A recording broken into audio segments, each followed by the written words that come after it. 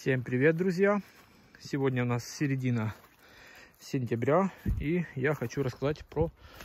Э, очень часто вы спрашиваете план работы, что нужно делать на огороде в сентябре. Ну, наверное, мои работы и ваши работы на грядках будут отличаться.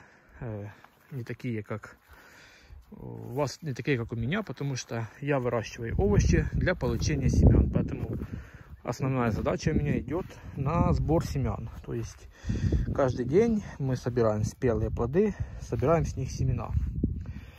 Ну, параллельно этому еще и пытаемся в свободное время и чуть-чуть убирать огород. Ну, я расскажу вам про свой огород, что же мы делаем. Ну, вот активно сейчас собираем семена. Помидоры еще есть, они зеленые, растут, плоды еще будут, поэтому кусты еще не убираем. Когда ударят заморозки, Потом будут, э, уже можно будет их убирать. Начали продавать хризантемы, сорта, которые уже зацвели, э, продаем. Ну, если кто-то хочет хризантему, в описании под видео есть почта. Пишите э, или в комментарии, договоримся, я отправлю даже почтой хризантемки. Начинают цвести, есть интересные красивые сорта. В сентябре также уже можно убирать сорняки, вот здесь у нас был лук, я тут уже скосил э, сорнячки. Сейчас они подсохнут, у нас были дожди. Сгребу на кучку, сожгу. И можно будет мотоблоком перепахать землю. Когда это все уберется, там останется только корни. Это все перепахается, за зиму перегниет. Э, еще мы не собирали перчики и баклажанчики. Ждем, пока они созреют. Нам нужны они для семян. Как видите, у нас созревают они. Красные, желтые, оранжевые. Э, если вы не занимаетесь семенами, то у вас такого не должно быть. Уже вы должны собрать и переработать. Ну, мы держим, чтобы собрать семена. Перчики. Так же само и баклажанчики. Ждем, чтобы они стали мягкими, поменяли цвет некоторые сорта. Э, э, ну, я в курсе, когда надо их будет собрать. То есть мы ждем для семена. А вы тоже еще в сентябре не удаляйте кусты, еще тепло будет. Как видите, перчик продолжает цвести, еще какие-то плоды завяжутся. Ну, даст бог, заморозки будет не раньше середины октября. У нас впереди еще месяц, и мы соберем урожай еще какой-то. Даже огурцы мы еще не собрали на семена. Вот лежат, они не убрали. Далее идем. Бурячки еще не копаем, еще рано пусть они еще растут. То же самое и с морковкой, и с кормовым бурячком. Еще ничего мы не убираем.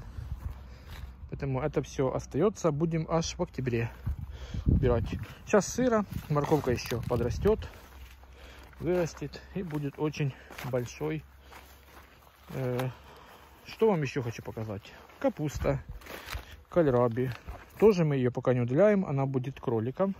Это уже переросшая, мы такую не кушаем, будет кроликом. Огурцы еще лежат. Здесь, конечно, где были огурцы, заросли сорняки. У нас это все буду косить на днях. Закончим с помидорами, подгоним сбор семян и будем убирать сорнячки, те, что поросли. Э, кабачки, также семена еще не собраны все время занимают у нас, как вы уже поняли, помидоры. Хочу дойти до тыкв, показать. Тоже в сентябре мы их еще не убирали. Поздняя капуста тоже будет аж перед самыми заморозками, вот как по погоде передадут заморозки, тогда и будем срезать. Есть головы, они еще растут. Амаранты вызревают еще у нас. И тыквы, как я уже сказал, тоже еще, как видите, их плети не высохли. Еще они чуть-чуть дозревают. Я несколько тыкв разрезал, семена чуть-чуть не готовы, надо ждать. Поэтому тоже ничего не делаю. Ну, я так думаю, что весь сентябрь я буду заниматься еще помидорами и убирать сорняки там, где их можно убрать. Тыквы, перец пока не трогаем. Это будет начало октября. Соя уже, кстати, поспела почти. Уже сухие стрючочки. Сейчас покажу вам. Это черная Хоккайдо, новый сорт. Очень полезная, очень классная соя. Потом отдельно про нее расскажу. И наши амаранты, они еще не созрели, созревают. Тоже до заморозков их можно практически держать. Смотрите, какая красота, какие красавцы. Красавцы амаранты. Ну, листья уже подустали. Уже темнеет, багреют. Так сказать, берут осенний цвет. Очень красивый сорт голова слона. Вот такие вот слоники, как видите. И вот такие вот тоже висюлечки амарантовые. Тоже есть такие. Капуста краснокочанная в этом году не сильно завязывает головы. Ну, все-таки вяжет. А цветная, как видите, есть. Будет цветная капуста. Ну что, осень. Уже огород не такой яркий. Из-за дождей активно лезут у нас сорнячки. С этим всем будем бороться. Да, еще хотел вам показать атриколи. Очень крутая культура, которая восстанавливает зрение. Вот такие вот ягоды. Очень лечебные атриколи. Э, постараюсь вам снять отдельное видео, где расскажу про атриколи. Про его лечебные свойства и как его использовать. Ну и еще покажу вам свою гигантскую тыкву.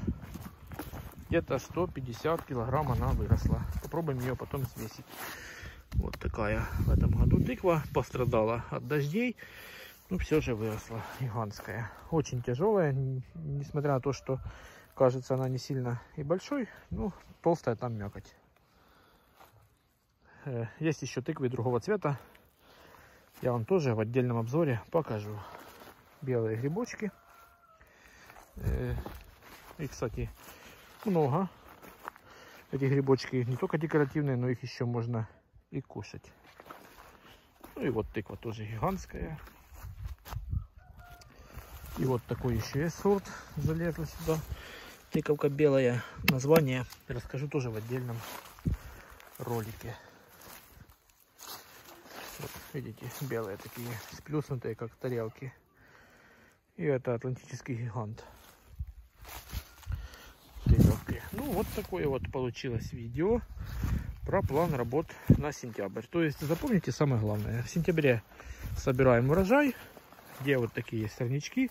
Их можно вырывать, косить. Я бензокосой косил. То есть уже можно убирать огород, готовить его к зиме. Чем раньше вы уберете, тем раньше будете отдыхать. А я с вами прощаюсь. До новых встреч. До следующих обзоров.